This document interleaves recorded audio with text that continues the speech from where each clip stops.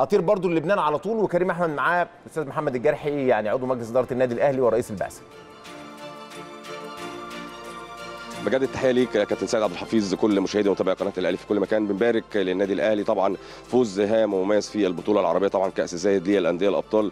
الأمور يمكن الحمد لله بإذن الله كانت مهيئة للنادي الأهلي بالفوز الكبير ده. بينضم لي سريعا المهندس محمد الجرحي رئيس البعثه وعضو مجلس إدارة النادي الأهلي. ألف مبروك طبعا يا محمد بيه في البداية ومجهود كبير بالنسبة للنادي الأهلي. لكن قبل ما أبدأ معاك حابب أتكلم على السفير معالي السفير طبعا نزيف النجاري وكان دعوة عشاء مميزة جدا وتسليم دروع وعلاقة طيبة جدا حابب تقولي في البداية لمعالي السفير وبتشوف الأمر ده إزاي يا محمد بيه. بداية تحياتي لكابتن سيد. يمكن امبارح كنا في لقاء مع معالي السفير يعني معالي السفير غمرنا باهتمامه.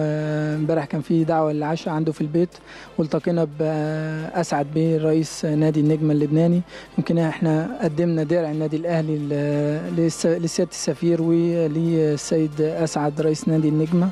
وكان في طبعا يعني مناوشات بينا على الماتش وهزار بس كانت القعدة لطيفة يعني الحمد لله. ويعني مش مش كمان سيادة السفير بس طاقم السفارة بالكامل كان متعاون جدا من أول وصول البعثة لحد دلوقتي ولحد إن شاء الله المغادرة. يمكن عايزين نوضح الأمر الخاص طبعا يمكن كان في ناس كتير وفي فيديوهات نزلت إن كان في حصل قلق عند فندق الإقامة ويمكن أنت كمان مشكورا طبعا محمد بيه تواصلت مع السفير وطلبت تكثيف أمني كبير جدا وده اللي إحنا شفناه. الأمر ده يعني انعكس علينا إزاي؟ وشفت الأمر ده إزاي؟ يمكن امبارح الساعة واحدة وتلت كده مجموعة من المشجعين جم عند الفندق الإقامة وبدأ يعني ضرب صواريخ وموتوسيكلات وكده وهتافات. بس يعني طبيعي يعني بتحصل النادي الأهلي النادي الأهلي متعود بيحصل كده من فرق بيقابلها بس عادي يعني طبيعي يعني ما ينفعش تعمم. وخصوصا إن انت أنا كلمت أسعد بيه وبدأ ياخد إجراءات وكلمت معالي السفير وكلموا نائب وزير الداخلية ويعني أنت شفت إحنا الموكب إحنا جايين في موكب امني رهيب جدا. حتى إحنا كنا حاسين إن هو مبالغ فيه مدرعات وعربيات شرطة. كنا مش من جيش شرطة وكل حاجة فكنا إحنا حاسين يعني يعني موكب ضخم جدا. يعني في الآخر خالص الأحداث دي إحنا إحنا كنادي أهلي مش بنقف عندها يعني. بتشوف الجيم إزاي بقى؟ والفوز الكبير والروح الكبيرة بتاعت النادي الأهلي بتلاحم المباريات من البطولة الأفريقية للبطولة العربية. بتشوف أداء النادي الأهلي إزاي يا محمد بيه؟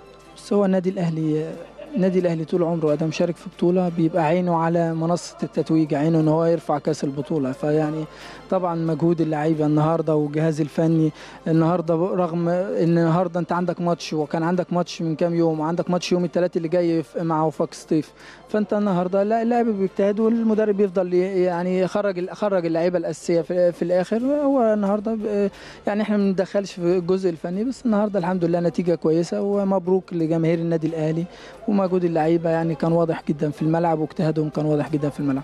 أنا عشان ما اطولش عليك أخد منك رسالة لكل لاعبتنا والجهاز الفني قبل المباراة الهامة مباراه وفاق سطيف البطولة العربية حلم البطولة الأفريقية حلم طبعا لكل جمهور النادي الأهلي ومجلس الإدارة. ممكن تقولي لكل اللعيبة والجهاز الفني يا يعني إحنا دايما في النادي الأهلي عيننا مش كمان على البطولة الأفريقية إحنا عيننا على كأس العالم للأندية. فإحنا طبعا إحنا بقالنا غايبين عن المشاركه في كأس العالم للأندية بقالنا أربع سنين. إحنا يعني البطولة بالتالي الدنيا أفضل أسهل. ممكن يعني خلاص إحنا على بعد خطوة. اللعيبة مدركة ده تماما وهم على قدر المسؤولية. الماتش اللي فات كان أدائهم ممتاز جدا. وإحنا إن شاء الله يعني إن شاء الله بإذن الله بنلعب للفوز وبنجتهد وبنعمل كل اللي علينا. وفي الآخر التوفيق بتاع ربنا. أشكرك. شكرا. مبروك.